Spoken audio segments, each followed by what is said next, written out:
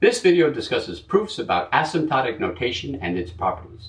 It assumes that you already know the definitions of the asymptotic notation functions as shown in a previous video.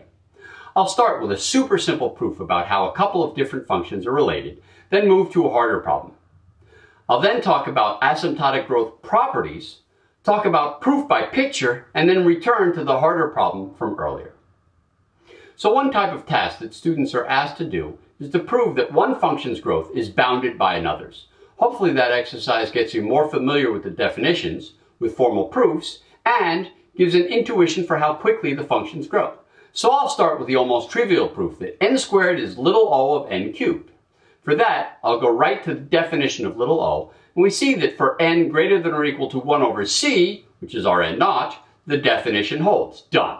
Now you know how to solve those. You are welcome. Obviously, with simple enough problems, the proof is very easy. There's no algebraic hangups when you want to go directly from the definitions. But what happens if we take functions n cubed versus log log n to the log n?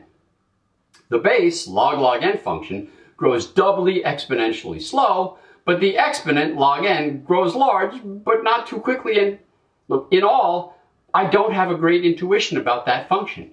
And I'm not sure that just plugging into the asymptotic definition is going to bestow upon me any extra wisdom. I think that students sometimes get stuck there and don't know where to go. You might not even know which one grows faster. You might just look at the picture and decide you're good. For now, let's just put that problem aside. Students are also asked to prove properties about asymptotic growth. So let's say you're given log of f of n is little o of log of g of n. And also that for any constant for sufficiently large n, g of n grows larger than the constant. We want to show that these imply that f of n is little o of g of n. Now I'm not going to bore you by reading the proof when there are so many other ways that I can bore you. But we really do start with the definition of little o. After a bit of algebra, we also use the fact that g of n grows past any constant. Combining both of these and picking a big enough n value so that both halves apply, we get the little o definition of what we're trying to prove and we're done.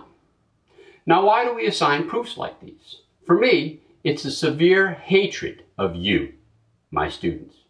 No, really, again, it helps gain familiarity with proofs and definitions, but let's face it, this is part of the science part of computer science. Also, it might actually be useful. However, I know that for some of my students, when they don't see any concrete functions, they think these exercises are just way too abstract, giving theorems that aren't particularly interesting or useful. So they think that. And then they go and toil away on the first concrete type of problem, like our n cubed versus log log n to the log n. That seems more approachable, but sometimes they struggle with the math there too. So they just graph the functions and call that graph a proof. Now it's fine for you to try to get an idea about the functions by plotting them, but it isn't a proof. I mean, how far out do you plot? Maybe 100? Maybe to n equals 1,000? 10,000? In this case, all the pictures look pretty much identical except for the scale. So what's the problem? Well, there's no problem except that it's wrong. So to find the relationship on these functions, let's go back to the property we had before. Taking the log of each function, suddenly things are much easier. They each have a log n term, but while 3 is a constant, we know that log log log n grows slowly to infinity. The given part of our property holds, so we can just jump to its conclusion. Here, everything's been simplified so much that we can even see the crossing point where g of n passes f of n. It happens if n is greater than or equal to 2 to the 256. But nobody's going to plot the graph that far out on a whim. Of course, you could argue that this n value is so big that it doesn't matter, but realize you are arguing with the video. Regardless, don't argue that the pictures are proofs. Use the definitions and use the properties. Saying, it seems like it, by looking at the picture, doesn't cut it as a proof. Next, I recommend starting to use asymptotic notation for analyzing programs instead of just as mathematical constructs, as we've done here. But for me, I'm off to see the wizard for some charisma.